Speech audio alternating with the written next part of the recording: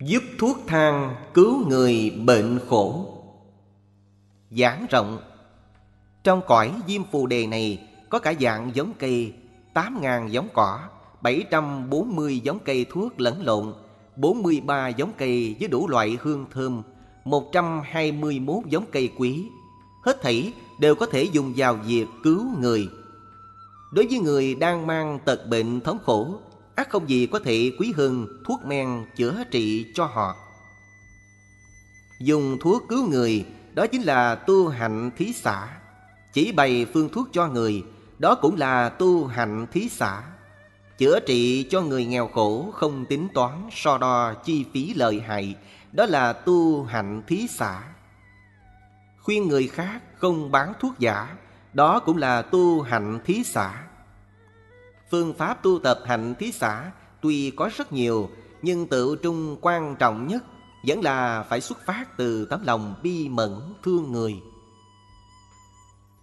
Vào thời thế gian suy mạc tật bệnh cứ dần dần ngày càng nhiều hơn, mà thuốc men lại dần dần ngày càng khan hiếm. Hãy lấy ví dụ như bệnh đậu mùa ở trẻ con, từ thời Ngụy Tấn về sau mới có. Bệnh trúng phong chỉ bắt đầu có từ năm cuối niên hiệu Thuận trị đời Thanh. Tức năm 1661 Gần đây trẻ sơ sinh thường hay bị chứng đường lan tử. Bệnh chứng ở trẻ em làm sưng tấy chân răng hai bên khoang miệng Khiến trẻ em không thể bú mẹ Nên còn gọi là bệnh phương nhũ. Phải cắt bỏ đi mới bú mẹ được. Bằng không chỉ trong một hai ngày có thể tử vong những bệnh quái lạ như vậy vào thời tôi còn nhỏ thật chưa từng nhìn thấy. Cách đây 10.000 năm, nước uống vào có vị hết sức ngon ngọt như mùi vị của sữa đặc. Đến thời ông Kỳ Bà. Kỳ Bà là một vị vương tử ở Ấn Độ, là bậc thánh trong ngành y, chú giải của soạn giả. Tên gọi này được phiên âm từ phản ngữ là Jivaka Vị này sống cùng thời Đức Phật Thích Ca. Là một trong các đệ tử thuần thành tinh Phật Thường giữ việc chăm sóc sức khỏe Cũng như thuốc thang trị liệu cho các vị tỳ kheo có bệnh trong tăng đoàn thời Phật tại thế. Tại Ấn Độ vẫn còn giữ được một cây quý gọi là dược dương Có thể dùng soi chiếu thấy được thấu trong nội tạng của con người. Vào đời Triều Minh, loại nhân sâm tốt nhất Phần rễ đã phát triển rõ rệt thành hình người, Vẫn còn rất nhiều, Giá bán mỗi cân cũng chỉ tương đương như một cân bạc trắng. Ngày nay giá bán đã cao hơn gấp 4 năm lần Mà màu sắc mùi vị đều không được như trước. Trong tương lai khoảng 5.000 năm nữa, Tuổi thọ trung bình của con người giảm xuống chỉ còn 20 năm. Tai kiếp dịch bệnh khởi sinh, Người chết nằm phơi xác khắp ngoài đồng nội. Tai kiếp này kéo dài đến 7 tháng 7 ngày mới dứt. Lúc ấy, các thứ nhu yếu thông thường như đường, muối, vân vân cũng không tìm ra được. Huống hồ là các loại thuốc quý giá như nhân sâm, phục linh, nhục quế, phụ tử, vân vân. Luận bà Sa có nói rằng Như có người mang một quả A lê lạc Ở đây chỉ dùng tên loại quả này để nêu thí dụ không nhất thiết phải dùng quả này, mà có thể là bất kỳ loại dược phẩm, thuốc men nào. Chú giải của soạn giả. Dâng lên cúng dường cho một vị tăng bị bệnh Thì trong tương lai người ấy nhất định sẽ không gặp phải những tai kiếp dịch bệnh. Bệnh tật khổ não không sẵn có lúc ta mới sinh ra Đều phải có nguyên nhân mới sinh khởi. Kinh Đại Phương Quảng Tổng Trì dạy rằng Tên kinh đầy đủ là Đại Thừa Phương Quảng Tổng Trì, được xếp vào Đại Chánh Tân Tu Đại Tạng Kinh, thuộc tập 9, kinh số 275, có một quyển, do Ngài Tỳ Ni Đa Lưu Chi dịch vào đời tùy. Phần trích kinh văn bắt đầu từ dòng thứ 17, trang 381, tờ A.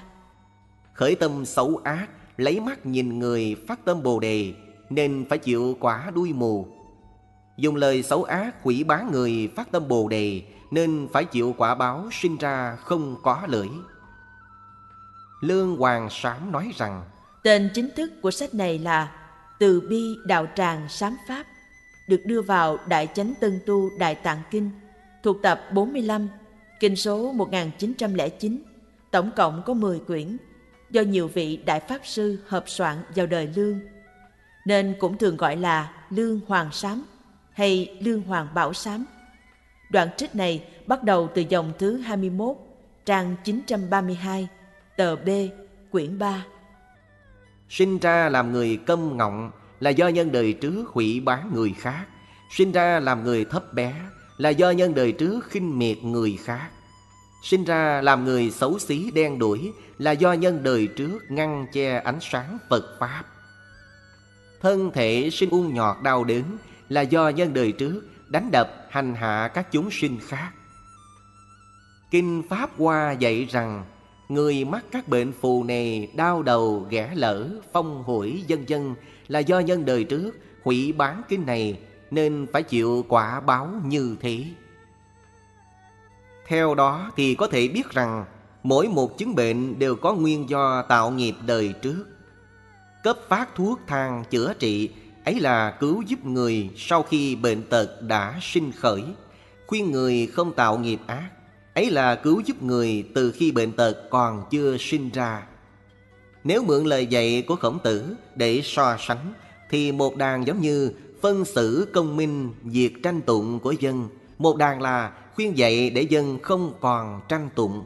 Khổng tử có nói rằng, phân xử việc tranh tụng phải đặt mình vào vị trí của người để lắng nghe, đạt đến sự công minh. Nhưng cũng không bằng làm sao khiến cho người không khởi việc tranh tụng. Cả hai việc đều có thể cùng lúc thực hiện, không có gì trở ngại cho nhau. Trưng dẫn sự tích Nhiều đời không bệnh tật Trích từ kinh Phó Pháp Tạng Chú giải của soạn giả Tên gọi chính xác của sách này là Phó Pháp Tạng Nhân Duyên Truyện Không phải là kinh Sách này được đưa vào Đại Chánh Tân Tu Đại Tạng Kinh Thuộc tập 50 Kinh số 2058 tổng cộng có 6 quyển, do các ngài Kiết Ca Dạ và Đàm Diệu cùng dịch từ Phạn Văn sang Hán Văn vào đời Nguyên Ngụy.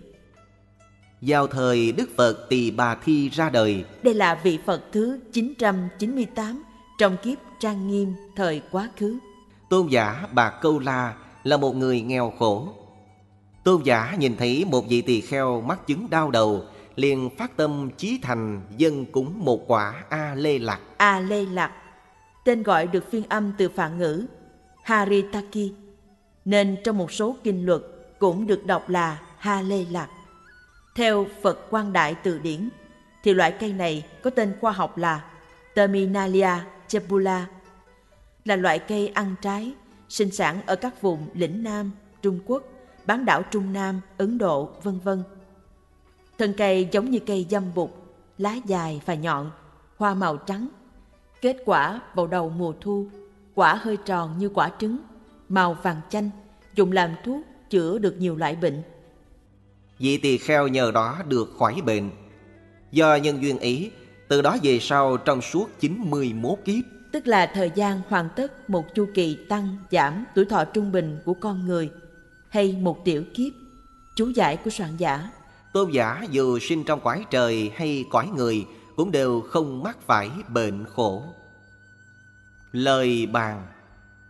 Người thế tục, lúc tuổi già hay khi có bệnh Đều được vợ con, người thân chăm sóc. Nhưng các vị tăng ni khi mắc bệnh phải nằm liệt giường, Hoàn toàn không có ai chăm sóc. Nhìn quanh chẳng có ai thân cận, Hoàn cảnh thật hết sức thê thảm ở đây muốn nói đến các vị tăng ni theo hạnh xuất ly như thời Phật tại thế, không có trú xứ, thường khất thực du phương. Các vị tăng ni ngày nay hầu hết đều có trú xứ, nên huynh đệ tỷ muội có thể cùng chăm sóc cho nhau những khi có bệnh. Chú giải của soạn giả Cho nên trong kinh điển khuyến khích mọi người nên cúng dường các vị tăng ni bị bệnh sẽ được phước báo lớn lao nhất. Ung nhọt biết nói Trích từ các sách Hán Thư và Thủy Sám Duyên Khởi Chú giải của soạn giả Vào đời Hán Cảnh Đế Hán Cảnh Đế sinh năm 188 trước công nguyên Mất năm 141 trước công nguyên Tên thật là Lưu Khải là hoàng đế thứ sáu của nhà Hán. Ông trị vì từ năm 157 đến năm 141 trước công nguyên. Chư hầu bảy nước lộng quyền kiêu ngạo, xem thường hoàng đế. Ngô Dương Lưu Tị lại có ý mưu phản. quan ngự sử đại phu là triệu thú, lo lắng sự biến loạn. Khuyên vua nên cắt bớt đất đai phong cho chư hầu để giảm thiểu quyền lực của họ.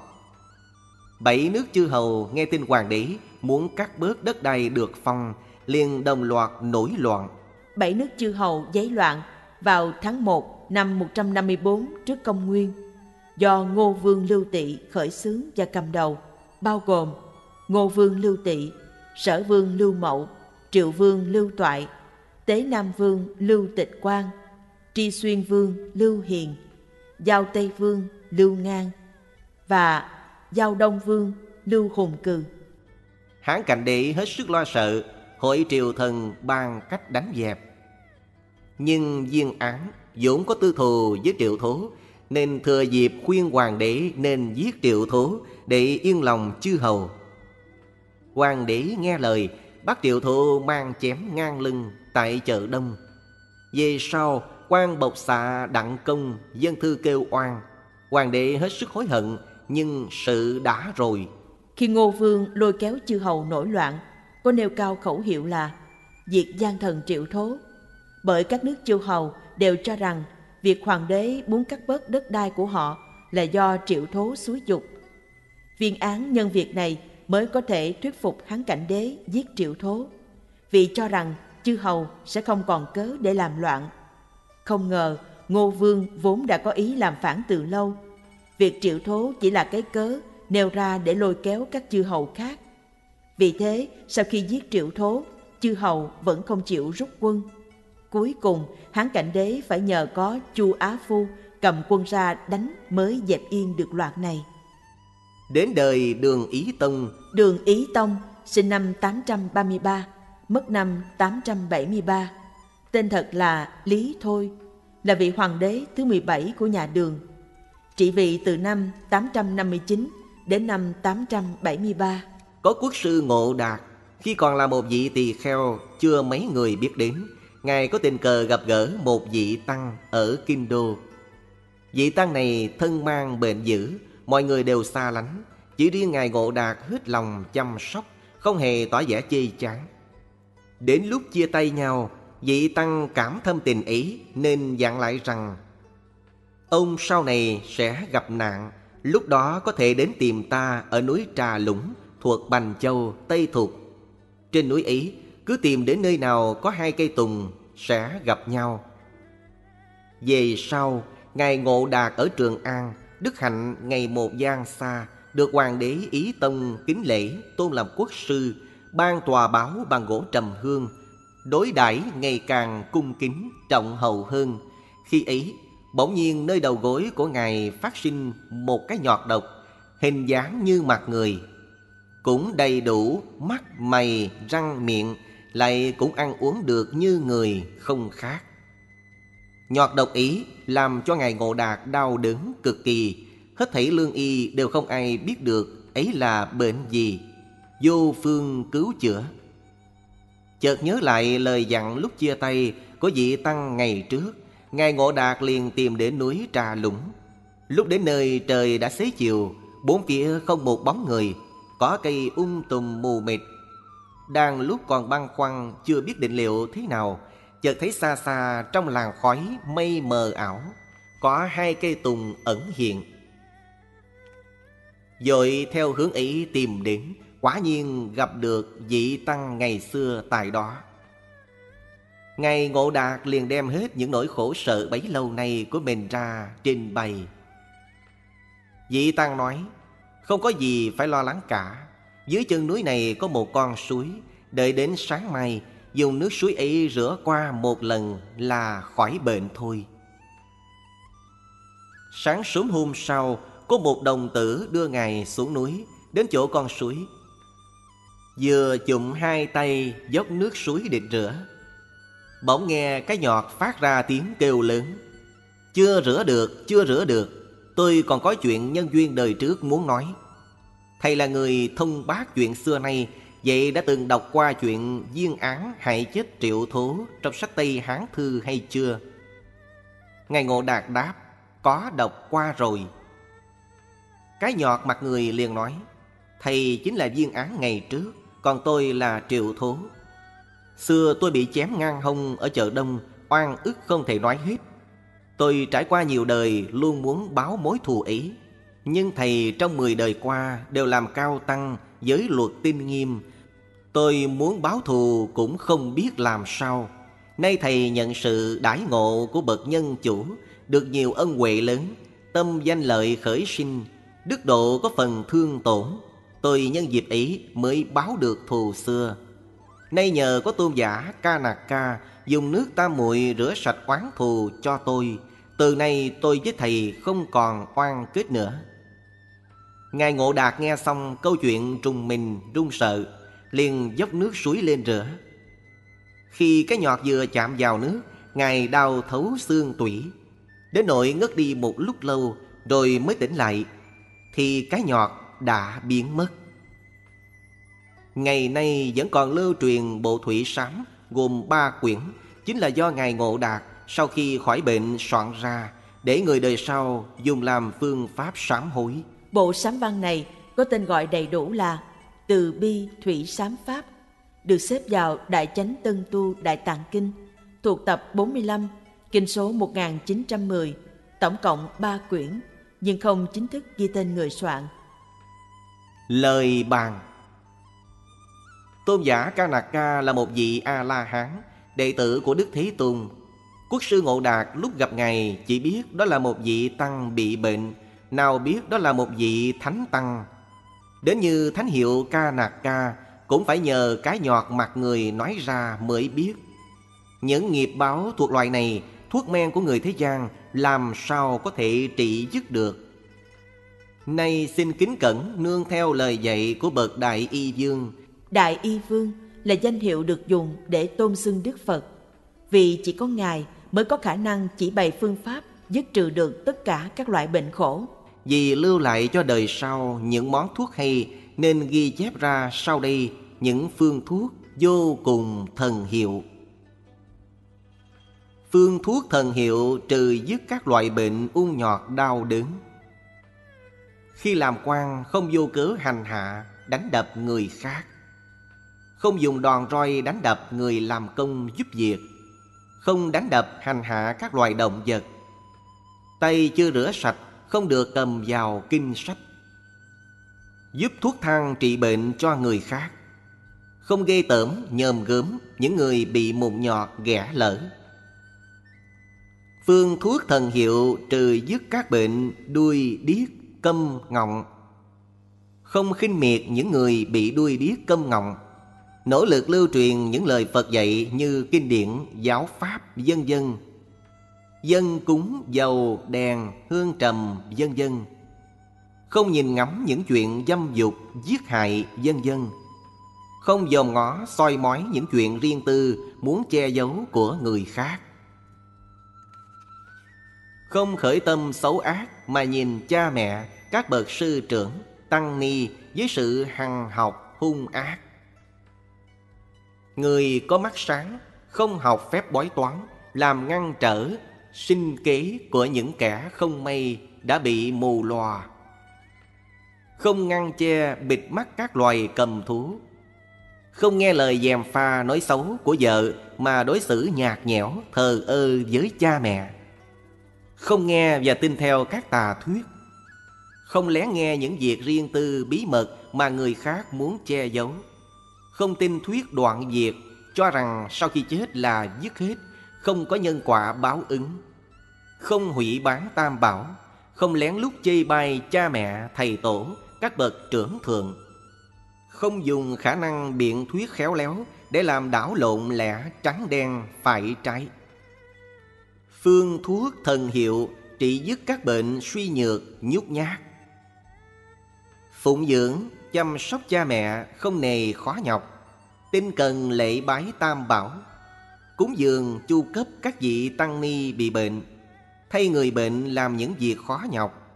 Không ép buộc những người giúp việc cho mình hoặc những người nghèo khó phải làm việc quá sức. Sử dụng sức trâu cày ngựa kéo Có mức độ vừa phải. Phương thuốc thần hiệu trị dứt các bệnh chết yểu Chết bất đắc kỳ tử. Hiếu thảo phụng dưỡng cha mẹ, ông bà Giữ giới không giết hại Thường làm việc phóng sinh, cứu sống vật mạng. Không vì lợi dưỡng cho mình Mà nuôi các loài dê, lợn, gà, vịt dân dân Để giết thịt hoặc bán cho người chiết thịt. Không làm ra những loại khí cụ, bẫy rập, chài lưới dân dân Để giết hại các loài sinh linh trên cạn, dưới nước. Khuyên bảo khuyến khích những người làm nghề giết mổ, chài cá, lưới chim dân dân chuyển đổi sang các nghề nghiệp khác, tránh sự giết hại. Góp sức in ấn, phân phát lưu hành những sách khuyến thiện, khuyên người phóng sinh, bỏ việc giết hại, tin sâu nhân quả. Nếu học nghề thuốc chưa đến mức tin tường thông thạo thì quyết không nên hành nghề. Phương thuốc thần hiệu trị dứt các bệnh gia đình ly tán. Không phá tổ bắt các loài chim, không đào hang bắt các loài thú, không đuổi bắt các loài dế, côn trùng, dân dân. Phương thuốc thần hiệu trị dứt các bệnh giam cầm tù ngục. Không dễ dãi khinh suất, khởi sinh việc kiện tụng khi không thật sự cần thiết. Không giam nhốt các loài chim thú, không nuôi nhốt các loài dế, côn trùng, dân dân để làm trò vui, không làm ra những khí cụ để hành hình tra tấn dân dân, không làm ra các loại lồng chuồng để nhốt chim thú hoặc các loại phên lưới để ngăn nhốt giam hãm các loài cá, côn trùng, dân dân. Phương thuốc thần hiệu trị dứt các bệnh nghèo khốn khổ sở. Phụng dưỡng chăm sóc cha mẹ, ông bà, dân dân không được so đo tính toán phí tổn thường thiết trai cúng dường chư tăng ni giúp đỡ chu cấp cho thân bằng quyến thuộc cứu giúp người nghèo khó bần hàng không tính toán chuyện lợi hại. Khi có cơ hội không từ chối việc dùng tiền của tài vật giúp đỡ người khác. Tài vật không phải của mình thì không tìm cách tranh đoạt giữ lấy. Phương thuốc thần hiệu trị dứt các bệnh hình dung xấu xí. Chăm sóc phụng dưỡng cha mẹ, ông bà, vân dân Điều quan trọng là phải giữ vẻ mặt vui vẻ kính thuận. Luôn giữ dáng vẻ cung kính nhu hòa Khi phụng sự các bậc tôn trưởng thầy tổ. Vẽ tranh đắp tượng chư Phật Bồ Tát dân dân Tư sửa tranh tượng chư Phật Bồ Tát dân dân Cúng dường các loại đèn, dầu, hương trầm dân dân khuyên người khác từ bỏ việc thưa kiện, tranh tụng, dân dân. Đối xử với người luôn giữ lòng khiêm tốn, cung kính giữ lễ. Không khởi tâm sân hận nóng nảy, hung bạo xúc phạm người khác. Không khinh bị chế nhạo những người khuyết tật, giác quan không trọn đủ như người mù, điếc, câm, dân dân.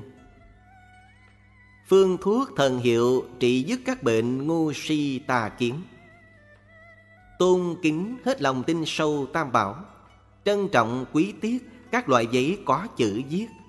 Tôn sùng kính trọng thầy dạy. Thọ trì tụng đọc kinh điển đại thừa. Thân cận gần gũi các bậc cao tăng đức hạnh. Giảng dạy chứng minh, làm rõ với người khác về thuyết nhân quả ba đời, khiến cho tự mình cũng như mọi người đều tin sâu nhân quả. Loại trừ, thiêu hủy các loại sách quỷ bán bài xích Phật Pháp. Dạy bảo khuyên ra người khác phải có tâm nhẫn nại Không hề chán nản mỏi mệt. Không khinh thường những người ít học kém trí. Mỗi một phương thuốc vừa kể trên đây Đều bao gồm đủ ba phần. Một Tự thân mình nỗ lực làm. Hai Khuyên bảo chỉ dạy khuyến khích người khác làm. Ba Khi thấy người khác làm được thì sinh tâm quan hỷ vui mừng, ngợi khen tán thán. Giúp nước uống giải cơn khát cho người. Giảng rộng, Người người đều biết rằng đói ăn có thể phải chết, Nhưng không biết rằng khát nước cũng có thể sinh bệnh. Với người tuổi trẻ cường tráng còn có thể chịu đựng, Nhưng với người già yếu thật khó qua khỏi. Với người khỏe mạnh bình thường có thể chịu đựng, Nhưng với người sẵn mang nhiều bệnh tật ắt rất khó chịu đựng. Với người qua lại gần gũi có thể chịu được, Nhưng với người đi trên đường xa, Thật rất khó vượt qua cương khát Những khi thời tiết ôn hòa, mát dịu, Còn có thể chịu được, Nhưng gặp những lúc rét lạnh hoặc nóng bức, Thật không dễ chịu đựng Người xưa dạy rằng, Chớ nên chê việc thiện nhỏ mà không làm Theo Tam Quốc Chí, thì đây là lời di ngôn của Lưu Bị trước khi lâm chung dạng lại con là Lưu Thiện, gồm đủ hai câu là Vật dĩ thiện tiểu nhi bất vi, vật dĩ ác tiểu nhi vi chi. Nghĩa là chớ nên chê việc thiện nhỏ mà không làm, chớ xem thường việc ác nhỏ mà phạm vào. Giúp nước uống giải khát cho người cũng là một trong các việc thiện nhỏ nên làm. Trân dẫn sự tích Phước báo của việc giúp nước uống cho người Trích từ Bách Duyên Kinh, chú giải của soạn giả. Tên đầy đủ của kinh này là Soạn tập Bách Duyên Kinh, được đưa vào Đại Chánh Tân Tu Đại Tạng Kinh, thuộc tập 4, kinh số 200. Tổng cộng có 10 quyển, do Ngài Chi kim dịch vào đời Ngô. Câu chuyện này được lượt kể lại từ nhân duyên thứ 85 trong kinh, tức A Xoa Mật Đa Duyên, bắt đầu từ dòng thứ bảy trang 246 tờ B quyển 9. Quý vị có thể xem chuyện này trong bản Việt dịch với tên là 100 truyện tích nhân duyên Phật giáo do Đoàn Trung Còn, Nguyễn Minh Tiến Việt dịch và chú giải, nhà xuất bản tôn giáo năm 2010, từ trang 299 đến 302. Nguyên bản An Sĩ Toàn Thư có một số chi tiết khác biệt, trong khi dịch chúng tôi đã căn cứ kinh văn chỉnh sửa lại cho chính xác hơn. Vào thời Đức Phật còn tại thế, trong thành xá vệ có một vị trưởng giả giàu có vô cùng. Vợ ông sinh được một người con trai, hình dung tuấn tú xinh đẹp. Từ lúc sinh ra không hề bú sữa mẹ, từ trong kẻ răng tự nhiên tiết ra chất nước có đủ tám công đức. Nước có đủ tám công đức, tức bát công đức thủy, tức là có đủ tám tính chất một Trừng tịnh nghĩa là lắng gạn, trong sạch. hai Thanh lãnh nghĩa là trong trẻo, mát lạnh. ba Cam mỹ nghĩa là mùi vị ngon ngọt. bốn Kinh nhuyễn nghĩa là nhẹ nhàng, mềm mại. năm Nhuận trạch nghĩa là thấm nhuần, tươi mát.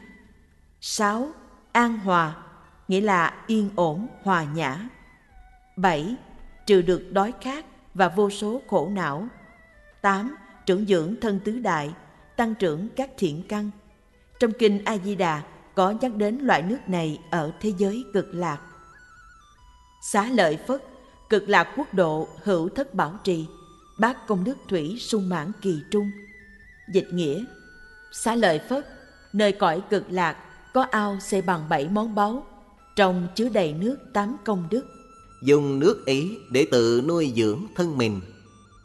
Người con ấy tên là Gia Xoa Mật Đa, về sau lớn lên theo Phật xuất gia. Theo an sĩ Toàn Thư, thì vị này xuất gia rồi mới có tên là Gia Xoa Mật Đa. Nhưng theo Kinh Văn thì đây là tên do cha mẹ đặt cho từ nhỏ. Tên này được phiên âm từ phản ngữ là Jacobitra, có nghĩa là rất vinh hạnh. Sở dĩ có tên này vì khi sinh ra thì trời đổ cơn mưa lớn, ai cũng cho là nhờ phước đức của đứa bé, nên cha mẹ liền đặt tên như vậy. Chúng tôi đã chỉnh sửa lại chi tiết này theo đúng kinh văn. Tu tập chứng quả A-la-hán Có vị tỳ kheo thưa hỏi Phật về nhân duyên đời trước của Gia Xoa Mật Đa. Đức Phật dạy rằng Vào thời Đức Phật Ca Diếp trong quá khứ Có một ông trưởng giả già yếu rồi mới xuất gia làm tỳ kheo lại thêm thân mang bệnh nặng nên không thể tinh cần tu tập. Thầy thuốc khuyên ông dùng món sữa đặc pha với thuốc. Về đêm, chất thuốc ấy làm cho cả người ông nóng nảy, trong miệng khô khốc, khát nước vô cùng. Ông thức dậy tìm nước uống, nhưng tìm khắp nơi đều không có nước. Cuối cùng, ông chạy ra bờ sông để tìm nước uống. Nào ngờ thấy sông cũng đã cạn khô, Ông không còn biết làm sao đành phải chịu đựng cơn khát vô cùng khổ sở. Hôm sau, ông đem chuyện không tìm được nước uống kể lại với thầy. Thầy ông dạy rằng nỗi khổ mà ông kể lại đó rất giống với nỗi khổ trong cảnh giới ngạ quỷ. Nay ông hãy lấy nước trong bình của ta mà dùng thử xem. Vị tỳ kheo nghe lời thầy đến lấy nước trong bình. Khi vừa đến nơi, xem lại đã thấy nước trong bình tự nhiên cạn khô. Vị tỳ kheo ý trong lòng hết sức lo lắng kinh sợ, tự biết mình sau khi chết nhất định sẽ phải đọa vào cảnh giới ngạ quỷ. Ông liền tìm đến kính lệ trước Đức Phật Ca Diếp, chí thành sám hối tất cả những tội chướng trước đây của mình. Đức Phật Ca Diếp dạy rằng, từ nay ông nên phát tâm lo việc cung cấp nước sạch cho chư tăng dùng. Như vậy, có thể thoát được ác nghiệp, sinh vào cảnh giới ngạ quỷ. Vị tỳ kheo ý nghe lời Phật dạy hết sức vui mừng, từ đó phát tâm thường lo việc cung cấp nước sạch cho chư tăng dùng Mãi cho đến khi tuổi thọ đủ 20.000 năm mới thôi. Tuổi thọ trung bình của con người vào thời Đức Phật Ca Diếp trong quá khứ là 20.000 năm. Chú giải của soạn giả. Do nhân duyên ý, từ đó về sau, vị tỳ kheo này dù sinh ra ở bất cứ nơi nào, nơi kẻ răng cũng thường tiết ra chất nước, có đủ tám công đức. Cho đến ngày nay được gặp Phật, xuất gia tu hành chứng đắc đạo quả. Lời bàn. Chúng sinh trong cảnh giới ngạ quỷ trải qua nhiều kiếp cho đến tên gọi của nước cũng không được nghe. Nào chỉ là không có nước uống những chúng sinh ngạ quỷ ví như sinh ra bên cạnh bờ sông cũng vẫn không được nghe đến tên gọi của nước. Tỳ kheo gia xoa mật đa, nếu trước đây không gặp được đức như lai ca diếp, làm sao có thể chuyển họa thành phúc được như vậy? Dùng nước để bán kiếp nghèo. Trích từ kinh Hiền Ngu Nhân Duyên, Chú giải của soạn giả. Tên kinh này trong Đại Chánh Tân Tu Đại Tạng Kinh là Hiền Ngu Kinh Thuộc tập 4, kinh số 202 Tổng cộng có 13 quyển Do nhóm Ngài Huệ Giác cùng dịch từ Phạn Văn sang Hán Văn vào đời Nguyên Ngụy Câu chuyện này được lượt kể lại từ phẩm kinh có tên là Ca Chiên Viên Giáo Lão Mẫu Mại Bần. Bắt đầu từ dòng thứ 29, trang 383, tờ C, thuộc quyển 5.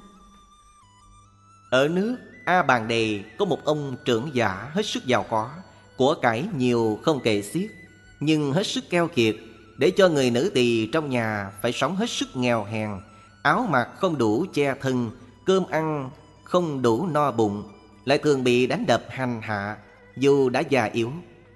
Người ấy muốn chết đi cho thoát khổ mà không chết được. Một hôm nọ, người nữ tỳ già nua ấy mang bình ra bờ sông lấy nước. Tuổi thân khóc lóc thảm thiết. Một vị đệ tử Phật là Ngài Ca Chiên Viên, thấy vậy thương xót liền hỏi, Nếu như bà chán ghét kiếp nghèo khổ, Sao không mang bán nó đi? Lão nô tỳ thưa, có ai lại chịu mua cái nghèo? Ngài ca chiên viên nói, Được, Cái nghèo khổ của bà đó Quả thật có thể bán đi được. Lão nô tỳ liền hỏi, Làm cách nào để bán được? Ngài ca chiên viên dạy, Nếu lão bà quả thật muốn bán cái nghèo đi, Thì phải hết lòng tin theo lời ta. Trước hết, hãy xúc rửa bình này cho thật sạch, Sau đó lấy nước sạch vào bình Mang đến cúng dường chư tăng.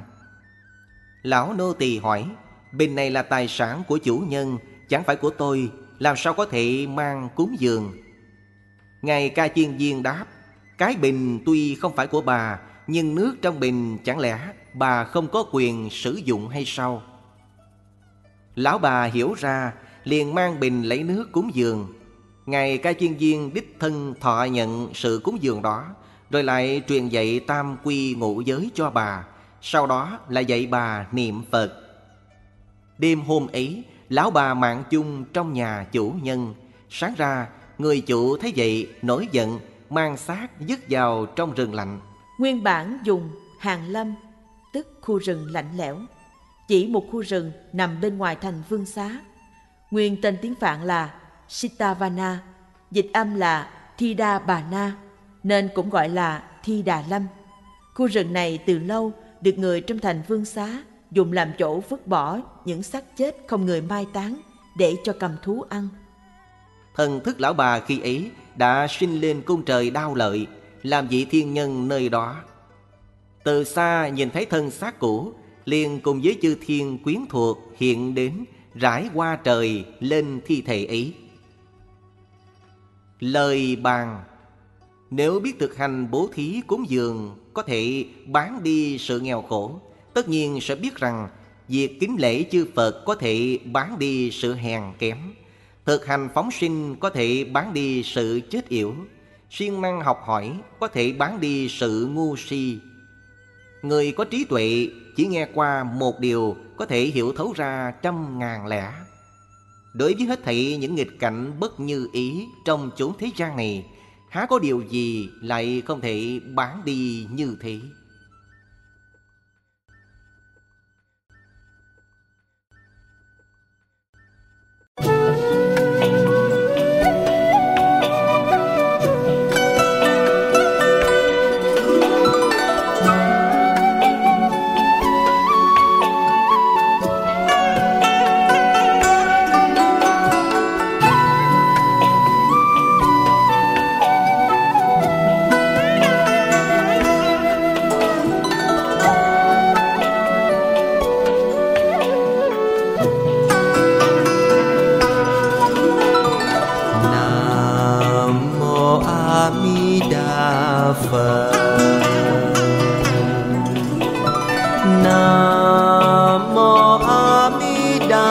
A